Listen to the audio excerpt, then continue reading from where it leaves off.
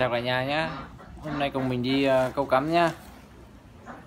Đây hôm nay mình vót được uh, mấy chục cần câu cắm đây.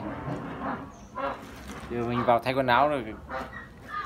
Rồi mình đi câu cắm cho các bạn theo dõi nhé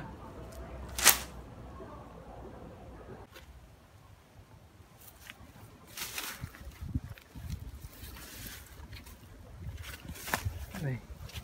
Các bạn thông cảm nhé mình nói hơi nhỏ nhá. Vì đây sát nhà người dân đấy nói ồn phát đấy chó sủa nhất với hai là người ta biết người ta trộm lắm.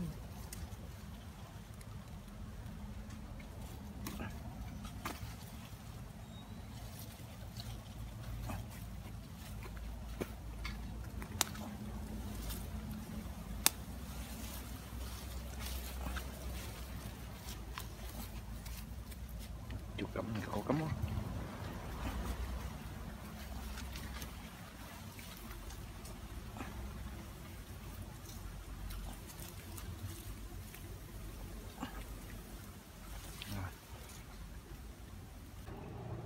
Ui, mình địa điểm mà đẹp như thế này mà cặm cũng không có rồi thôi nhá.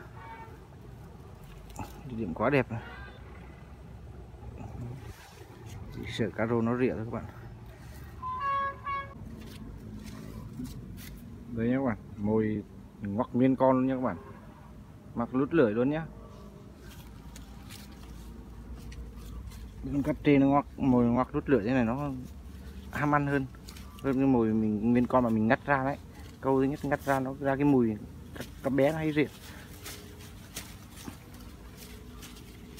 đấy. Thế là xong nhá.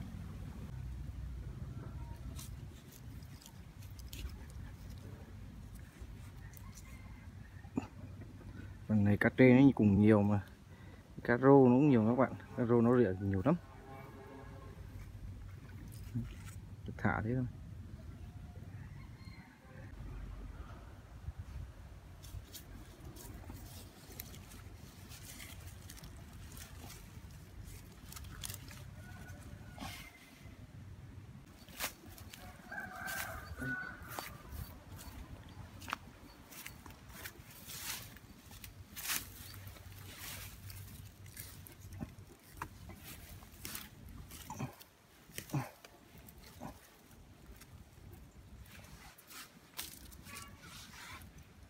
Trong lịch xử cá rô nó rỉa đấy các bạn cá rô nó rỉa mồi rô bé nó nhiều lắm. Mình phải cắm gần cạn tí. Đây hôm nay. Đây đoạn mương này rất đẹp này.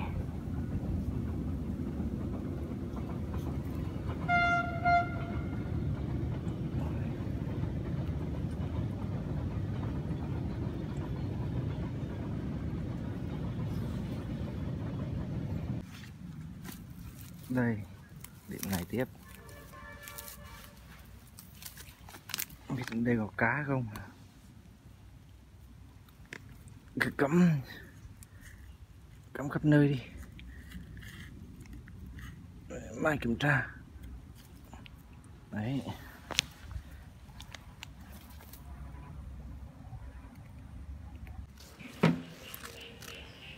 Ở điểm mương này ếch cũng nhiều lắm các bạn nhé để hôm sau mình thử câu ếch đoạn mương này xem thế nào. Chứ mình đi câu đoạn này thấy nó nhảy nhiều lắm. Thì xuống mới gặp hai, ba con rồi. Mà ếch to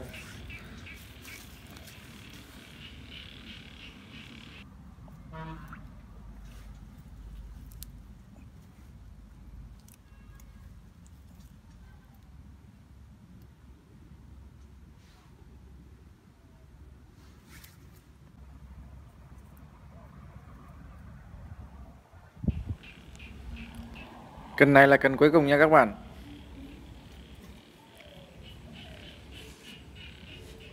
Các bạn nhớ đón xem ngày mai nhé. Ngày mai mình bắt đầu thăm câu nhé.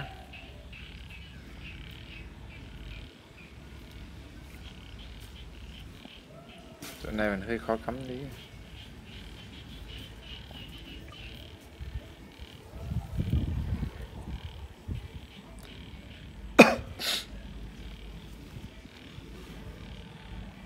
xong.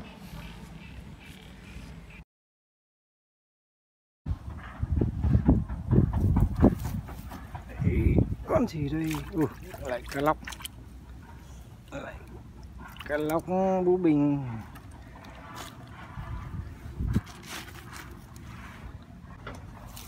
Đây con gì nữa? Ủa có trê các bạn con này con này to phết đấy.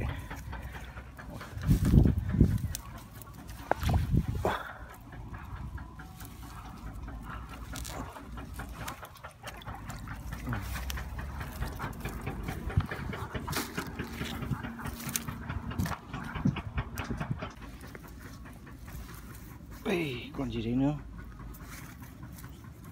Ui, cá lóc, cá lóc bé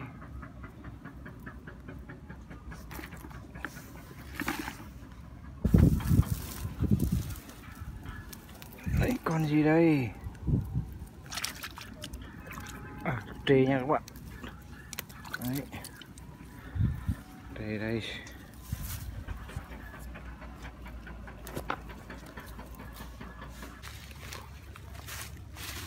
Này đây à lươn nha các bạn. Đây là con lươn.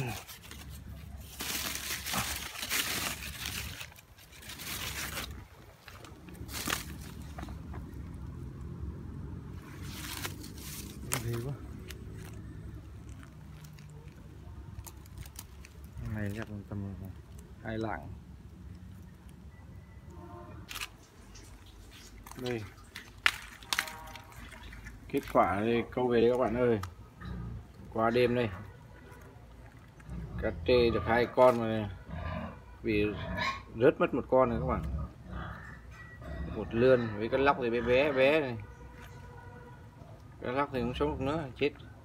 Cái rô đầy cái rô nó rỉa hết mồi các bạn chắc hôm sau mình phải câu ếch thôi nay ếch nhiều lắm đây nhá.